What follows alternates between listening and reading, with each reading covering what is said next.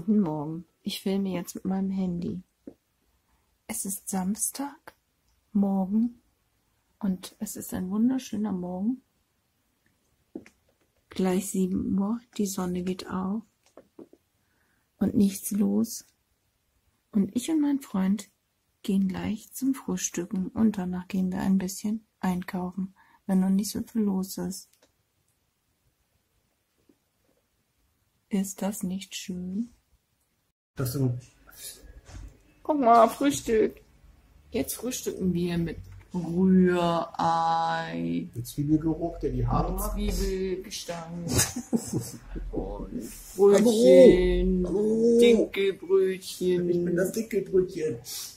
Frischkäse und Marmelade, einen kleinen Käppi und ganz viel Butter. Nö, nur zwei. So zwei Pfund. So, wenn man nah ranzoomt, ist es groß. Ein angebissenes Brötchen, angebissene Marmelade und so. Ich bin das fette Kanickel. Und wir sitzen und hier, das sieht man gar nicht so. In dem Ding, was beschlagen ist.